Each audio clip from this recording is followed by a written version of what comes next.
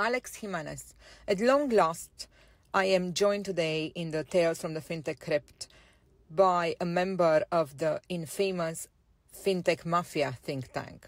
It does exist, I can tell you that. We are a very small group that has been speaking to each other and commenting on the industry for the last 10, 12 years. Alex is someone who is not only a dear friend, but his warm and intensely human view of the industry we work in has inspired me and many others throughout the years. Where others are shackled by wooden language or afraid to say the real truth, Alex um, doesn't abide by that small thinking, and you'll read his thought leadership pieces and find them reimagined through novel and sharp perspective. And also, you'll be able to sense how he has put genuine thought into each aspect he's commenting on. A banker, an analyst, a speaker, and financial industry voice with a focus on the US market, Alex is someone whose perspective you oughtn't miss if you want to arrive at any clarity within fintech.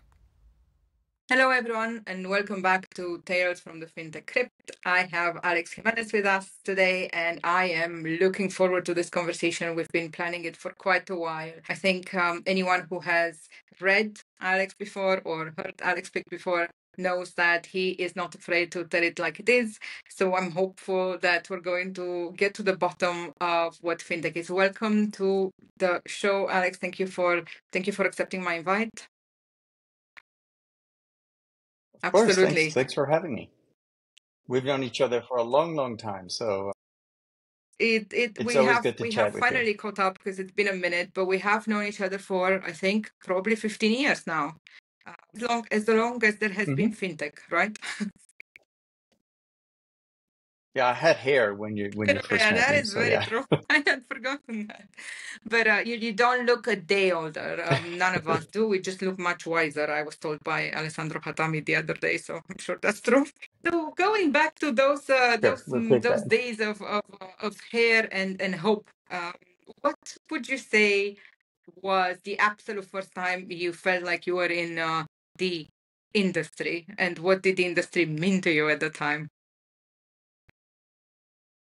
Well, I, have been in, in the banking industry for 30 something years, but uh, the the world of fintech uh, really, uh, I think the first time I felt I was in it was uh, 2011 at a Finovate in New York City. Uh, and that was in the days where Finovate was uh, a totally new thing. And, yeah, and and it was nothing but demos, and I was super excited coming out of there. My boss, who was the CTO of the bank that I worked at, and I were there, and we both of us came out with all kinds of ideas, which some of them have panned out, some of them died in the vine, and some of them some of them are long forgotten. I think that's really good point, and I think maybe we should we should give people a, um, a taste of that because we have talked about we have referenced Finovate on on this show multiple times before. I think it's seminal for the industry. I did write about it in in my book um, Emotional Banking because I think that's where a lot of the things we see today have have really started.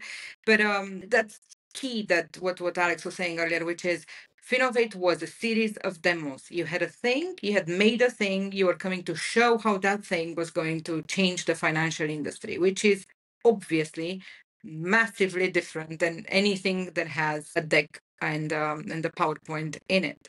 So those days were, were that's kind of what was powering the the excitement, wasn't it? That you could see a thing happening. Yes, yeah, and of course, you know, there were things that were happening at the time mobile particularly was a, a, new form. A lot of us were playing with the first few versions of either a, a Google phone or a Apple phone, and a few people were were also playing with a Windows phone, if you remember. There were even Palm uh, attempts at Palm apps for for banking. I remember these two banks trying that. Yeah, yeah, exactly. Uh, you know, so it was all exciting. It was also early days of crypto. So everyone was thinking crypto was going to change banking and investments. And, you know, 10 years from now, everything will be all about Bitcoin and, uh, you know, no one will be using computers. Everyone will be on mobile devices, blah, blah, blah. Some of those, some of those things happen, but I mean, I, crypto is like this, right? It has keep going up and down, up and down, and uh, the effect is, has not been what we thought of, you know, back in. But there was so much that we had to change at that point, and uh, a lot of those conversations were going um, quite deep in the in the in the actual concept of what money was, which let's face it, we don't much do these days much right. anymore. But kind of, if you remember what what David Birch was was on and on about in terms of money and digital identity back in the day, those were genuine moments of this is a deep consideration. So, of course, on the bed of that, the idea that crypto was going to completely revolutionize was was was everywhere. But I think we're jumping ahead. It's taken us. I don't even remember crypto until like halfway into our journey. I think the very the, the most advanced things in Finovate at first were obviously um, ways to show what you were doing with your money. They were the hundreds of copies of mm-hmm. Mint people were attempting to produce here and there the colors yes. and the oh god the personalization do you remember the big two or three years of personalization craze where everyone and their dog was going yes. to give you this one credit card that was going to have your dog's face on it and that was going to revolutionize uh, financial services lovely lovely beginnings of, of time that, that reminds me of the uh, the one card to rule them all, right? Everything was going to be on a single card. You know that people are still trying to do that, but that never panned out. I don't know how many of those companies came and, and went with the idea of mm-hmm. load up all your cards into this card, and you know now we just load them up on the phone. you don't need a, a card to do that, or for that matter, even you don't even need cards anymore. So uh, some of those things kind of changed. I remember a lot of mobile payment solutions, uh, and because you know the even with the iPhone, Apple wouldn't turn on their their NFC chip, mm-hmm. which just happened, right? The, they they just turned it on for third party vendors but because of that, there were all kinds of ideas. I remember one that we worked with a vendor and we were about weeks to to go live with it. And then the company went under. It was the sticker you put in the back of your of your phone and then you you and that had the, had the chip and you could pay for that. But then the the to be able to do that, you had to sign up all the merchants. And that was the big challenge. I think we had signed up like three or four merchants who were going to test it, but uh, you know, we signed the contract. We actually never paid anything because the vendor went under before we even got a chance to pay. There, there were probably tens of thousands of companies that were were having super out of the box and very cute and demure um, solutions that were they were hardware based more than they were software based and later on as a as a, yes. as a um, startup bootcamp mentor and, and techstars mentor i have seen even more of these and it, really always bedazzles me how courageous people would be to attempt to make an add-on hardware solution to our existing digital issues but that is where we were. And that was happening on on the outside whereas on the inside of banks the, the, the, the current wasn't quite there. So these were all workarounds for those of us listening to us that don't, don't quite understand why all of that would be happening. It's because it was the wild, wild west of innovation and everyone was attempting to go around what they were seeing as these mammoths not moving fast enough. But were you a banker when it all hit then? Right. Yeah, yeah, and and and then of course, then there was the wave of innovation within banks so I was the head of innovation in a bank. And, you know, there were many people like me around the industry trying to bring innovation in organizations that wanted to spend on innovation, but it, it just didn't fit the model. So, you know, what a story that I like to tell is the, uh, my CEO at some point had asked me, you know, to present how do we change the culture inside the bank to be more innovative and so on. And I made the mistake of using the the break things and and learn fast. And he was very upset with me. He called me to his office and he said, "We do not fail fast at this bank. We just don't." I'm not. I'm not a person that can very quickly respond to a, comment like that. I was like, "Oh, all right, okay, I get it." And then, and then a couple of days later, I was like, "Wait a minute, what do you mean we don't fail fast? Of course we fail fast, and we fail all the time." Because we we actually budget for charge-offs, we actually budget for losses. So we we are there planning mm. to fail for some things. Why can't we put that into the uh, realm of innovation? But that really just kind of crystallizes the challenge, right? If you wanted to be an innovator in an organization that had a very old mindset, you couldn't just have you know just delegate it to a guy or a lady mm. and say okay go do innovation call mm-hmm. us when you have an innovation. It's got to be kind of the part of the organization. It, it is now that I'm actually seeing more more people who are innovative within mm-hmm. the construct of the bank and are actually have right. day jobs, right? You know, the head the head of something other, right? Treasure management right? Uh, who's bringing innovations to treasury management, the head of mortgage, who's bringing innovations to mortgage. So it, it's taken, it's taken over a decade for that to happen, but it really has, the reason for that is really mm. being more generational. So as the boomers start leaving the industry and the millennials and Gen Xers start moving into into positions of power. That's when, when innovation seem to be happening. Uh, not to say that some boomers were not innovating, but uh, but that seems to be the case, but that's not what we we, we thought back I mean, I don't even know where to start. I have a hundred things to say about that and to ask you about that because from the outsiders, we were, if you wish, on like the, the two different uh, sides of this, right? You were on the inside of the bank and we would be on the outside of the bank, kind of trying to find these uh, inside mm-hmm. advocates mm-hmm. that could drive change and have uh, developed such incredible empathy for people who have attempted to move innovation severely burnt out than in other industries today, many of which. And then the ones that have those those big big changes are many of them very unsung heroes, unfortunately. Whereas I think they should have been uh, Mount Rushmore with with statues of their immense efforts. But I I also think that, and I say this a lot to anyone listening, the learnings of being an entrepreneur and the what it takes to do that and what it takes to kind of to to battle the the beasts you're in the belly of is it cannot be underestimated and at the times that people would be like we, we, we were powered because it was fun and it was exciting and like i said the wild wild west of innovation had all of these these new gadgets that were interesting but it was also heartbreaking to see what what dramas some hsbc yeah. uh, heads of innovation would go through and so on. But yeah, it's been quite a yeah, and, and, and so there's people like me who were in the industry, we're in banks, and we're no longer banks.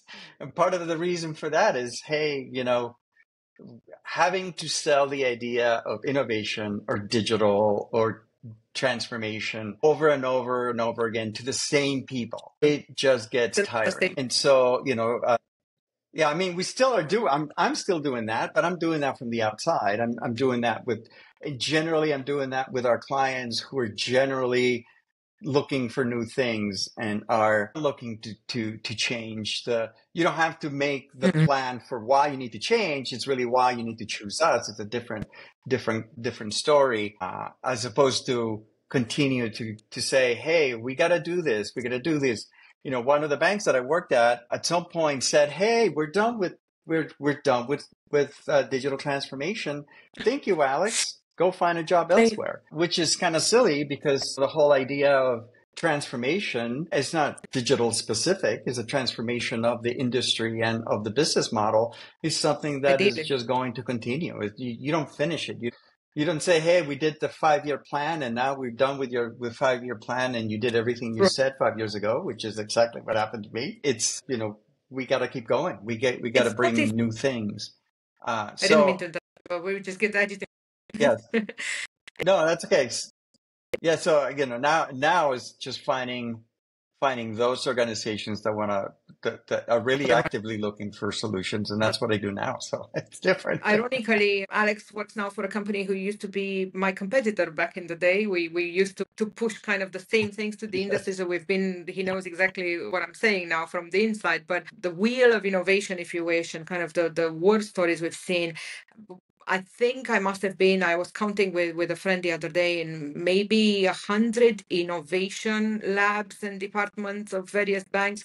And the one thing they most commonly had in common was the green wall, the living green wall. If you didn't have a little bit of moss or or, or grass on your wall, then you were clearly not an innovation space. And two, two of these places uh, were in a panic over the years uh, because they, they they couldn't keep it alive. And was one of the key problems they had in the innovation lab is that the grass was dying um wow. a, a, lot of money was put in one of them to do that much more than they spent to buy pfm at the time but that's that's a different story. The stories we've seen where it's just human folly at its best when you're trying to make big big things happen and that um, get stopped by the masses of many business prevention departments to quote JP Nicols I shall always and forever attribute him on on the on the on the genius label of but that is what it felt like there were inside places who were literally put in place to just stop you from from mm-hmm. moving ahead so I I'm always um, hats off to anyone who's done innovation from the inside. I have had a, a, short stint being an entrepreneur in a big beast, and it has been absolutely uh, traumatic and horrendous. And I know what you've been through. But um, in those times, and kind of as you went along, what would you say were kind of the vision of ahead? What was going to be the, the holy grail of what banking and and and relationing with one's money was going to be like and how far are we from that view? Well i mean uh, back in 2011 uh, all of us were were saying that branches were, were going to be alive for five years and that's it. They won't, they won't go beyond that. So clearly we were wrong because we still have them. We continue to close branches. We continue to open branches as well. Uh, you know, and then, and then, you know, and that's brought a whole bunch of problems that we never actually really thought through. You know, just recently I was reading in, uh, Lloyd's is closing a whole bunch of branches in in the UK and there's some towns that just don't have any branches left which as an American seems really weird because we have so many branches in the U.S. But it's the same thing in Spain. Uh, you know that there are lots of small towns that just don't have any branches. And that's that, mm. you know that impacts the the the older clients that just are never going to go into digital. Will never use an app. You know now that now they have to you know somehow get mm to the next town over for uh, to do their banking. So you know we were we were pretty ridiculous back then, thinking that that was going to go away as quickly uh, as that. I think I particularly didn't have a grand vision of where banking was going because I really thought I then that it was just mm-hmm. going to uh, to change uh, and, and you know and we were going to move all the banking to your mo- mobile phone and then it'll going to be moved to your smart glasses and blah blah blah so I was really more focused on the form than the actual the, the actual what, what it was going to look like. Uh, uh, and some things are better than I thought would, they mm-hmm. would be in the in the future. Some things have just never have never caught on, and I think the whole idea of true, true, true personalization continues to be kind of something that we're all going uh, towards. And now we're we're all saying, "Hey, AI is going to give us mm-hmm. that." personalization. And a generative AI is going to be, you know, we're going to have an agent who's going to do all the banking for us, and then we don't even have to think about banking. I, there's a bit of a folly there. I don't know how it feels like it's going to be really soon, but I, I don't know. I, when I use Erica, which is Bank of America's AI bot, it's it's way far away from from what people think about true personalization. I have lots of bank accounts with mm. a lot of banks in the US and and I just don't see any of them doing true personalization. I, I still uh, like to do on my birthday is see how many of, of my banks send me a birthday message. And it's still a minority of the banks that I, that I have accounts with. You know, I have accounts maybe with 15, 20 banks only because of what I do. And maybe three or four actually send me a message. The, and the state of the maybe once. Yeah. And maybe one of them actually gives me an offer. Hey, we're going to give you a, you know, have a basis point on this. That's or that. really sad. Which do- doesn't that's, move the needle, but that that's, that must be that, that, absolutely must be all due to this thing that I arrived at at the, the end of my fintech run, which was this is all left because of yep. human debt. This is what these organizations are incapable of working out. Um, so to me, it was like I now know why Yeah. it's it's not that there's this big cabala of illuminati of, of ceos of banks that go like we shall not give people the things they need. Equally it did my head in for many many years. Why would they not use the data they have in the ways that we're showing them so clearly and so easily to actually give people things that they want. I mean, all they would need to do is go to one Finovate and they would come out of there knowing what to do. The reality of it is they all knew what to do, right? There's absolutely no uh, even old guard CEO that didn't Yeah. know where we were going or what would be necessary. But to do that internally in these big beasts was near impossible, as as as you many times hear from from us telling you the stories. Now, the, the delta between that yeah. and what the consumer got is still, in my view, insanely big. It's it's a it's a shame and it's a pity and it Yeah. covers us as an industry in shame that we haven't gotten much further when you know this easily at our fingertips. With that said, it's almost it's not even just because the banks are big and they have uh, you know human debt and tech debt galore, but because we've also proliferated this industry around them that's a bubble of many many things that are attempting to fix that, and now we have to all um, somehow make a living. So it's not surprising that it slowed, unfortunately, slowed them down even more. So, but even the, now, like Yeah. looking at the things that in Meniga used to win Finovate with, they don't exist in my bank or yours. And is is still the realm of, of science fiction for half of these things when they should have been and they should have been easy. But is that because or we know why that is, but in terms of leaping ahead, because we know that sometimes you know, propositions just don't don't arrive in time, but when they do arrive, they arrive mm, hopefully stronger. What do you think is genuinely big that's coming up? And and you know, with is it is it open banking? Is it don't tell me AI? Because we both know that's not the answer. So what is the big thing that's going to really shake anything? Well, I don't think there's a big thing necessarily. I think personalization still to me is, is, is where I like organizations to go. And unfortunately, it is going to have to take some AI. It's going to have to take some data managing of data. I, I think to me, more powerful than anything is this whole idea of have just in time contextual recommendations, advice. Cause you know what? For all of us who are in, in the financial services world, most people don't care most people don't want to bother. It's either scary to be thinking about money or boring to think about money. And there's other things more important or more fun to think about. So the whole idea that, you know, we're going to be spending a ton of time looking at our apps and, you know, I, I think that's, that's, that is not going to happen. It's really just how, how can we provide people with what they need when they need it with real true advice and not things like hey maybe if you if you buy less starbucks you'll save some money. You know those are ridiculous kind of things. But you know how do you how do you do that? And and it's difficult. And sometimes you know we kind of get bogged down on the idea well for us to be able to do that we, we need to have a real-time modern core and therefore we're going to have to update our core. And you know 10 years later we just did it right? And we spent a lot of effort doing that. Or you know we we just need to we need to redesign our website. We need to redesign our our, our our our our app. All of those things need to be done, but really to serve the needs of of banking customers, it's got to be, you know, how do we just make their lives better? And you're not going to make their lives better by by uh, by updating our core system. It might might lead to that. Uh, it, it, it's it, it's a it, it's a difficult thing. Back, you know, 10 years ago, we, we thought, hey, we gave everybody the power of data. We'll give them some pie charts and, uh, you know, this PFM stuff. You know, all those, all those PFM things are fantastic. They're really great for those of us that love that stuff, but consumers couldn't care less. But consumers are like, I don't care. I don't want to look at the pie chart. Just tell me how much money I have in my account. That's all I need to know. Uh, so, you know, we're, you know, we, we kind of get full of ourselves and think right. about the things that we would like as people in yeah. banking that either you know have an accounting degree a finance mm-hmm. degree or a computer science degree and we get really geek out on all that stuff right.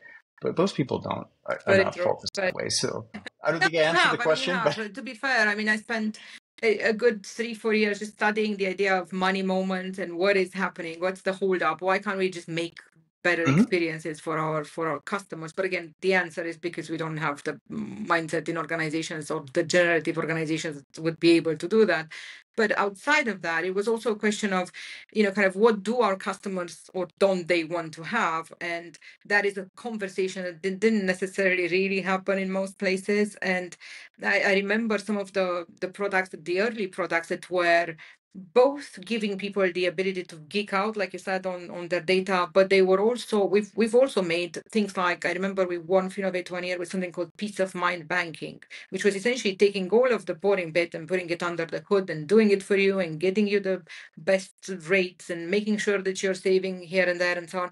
But equally it was letting you do the things that were emotionally significant to you on top of it.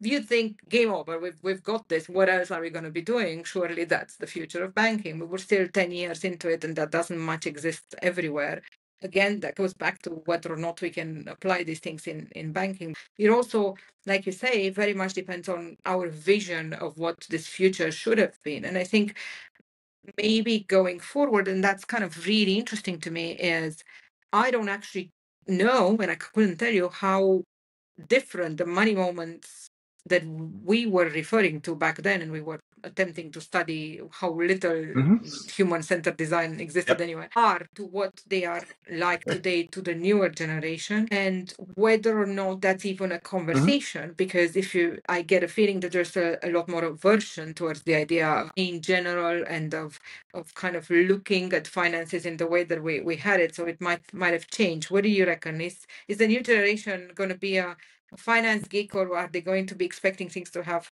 happened under the hood? I, I don't know. I, I, I think it's, I don't know. It, it's hard to tell. I, you know, the, the fact that there are TikTok influencers that talk about banking and give, and give tips is an interesting one. And if you look at some of those, some of the tips are absolutely terrible, right? So, I mean, as an industry, we need to do a better job to talk to, to Gen Zers and, and, and Gen Alphas, uh, and, and, uh, and, and let them understand what it is that, that they should be doing. But, you know, I, I see very few banks and fintechs actually using uh, TikTok, for example, as a way to, to, to talk to their clients. There's a, a former client of mine, a fintech in Canada that has a really great program where they have, um, you know, in-house influencers whose job is to go on TikTok, and that's what they do. They and they talk to they talk to their clients and their prospects about what they should be doing. Awesome. Uh, I mean, there's it- very few.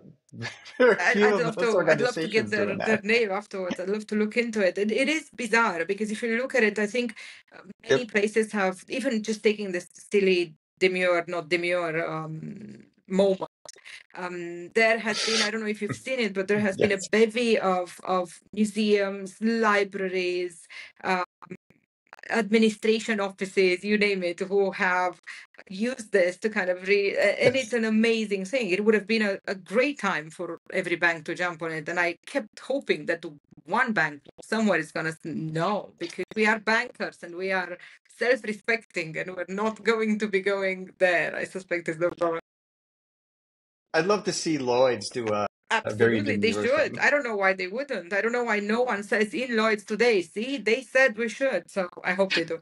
But um, there's just so much that that Oh, needs to, to to kind of rewrap itself in a sense. And you you were mentioning earlier, and I think that's a very interesting point that the the guard has changed. It's something we touched on in other episodes of this, which is back in our day, the kind of the last outpost of desperation for any of us attempting to see transformation who weren't was at least at one point this old guard is going to change and we're going to have all new people in in organizations that are going to usher in change faster. Now if they did come in and they did they're much younger people these days doing the things do we see them every day? Do you meet them every day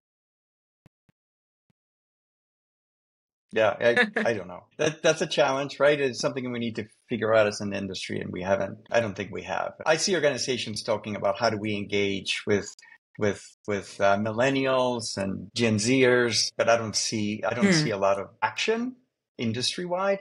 The other thing, though, I'm seeing is that the older the, the, the parts of banks that are that have moved slower. So I'm thinking about uh, uh, commercial banking, uh, and corporate banking, they're starting to demand a lot of the stuff that that that you know we used to demand uh, you know 10 years ago in retail.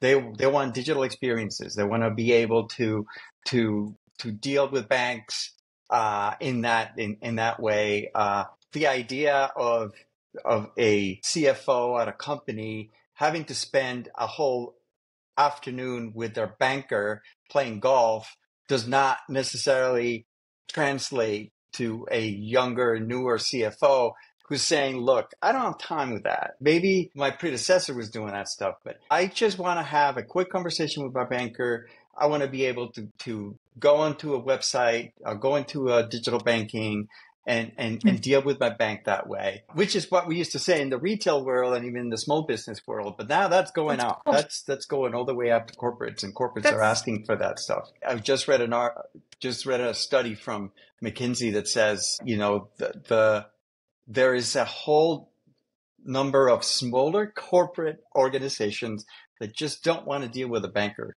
The big, I'm not big ones still do. I, although I am mostly surprised when when they get anything right, but this time around, I'm not surprised. that that's correct.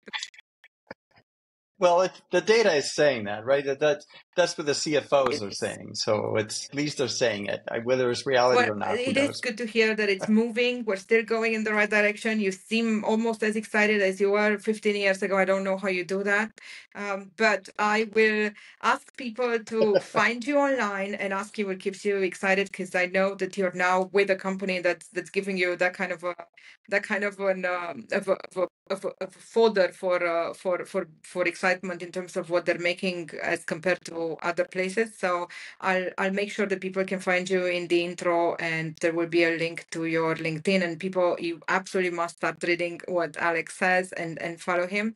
But thank you so much for talking to us today. We're going to keep it short because uh, the generation we're talking to has shorter thank attention you. spans, and we're all neurospicy, so uh, we should probably keep it down. But thank you so much for coming over and, and telling us how you felt those early days of fintech. Thank you, Alex, and hope to have you back soon. Well, thank you so much.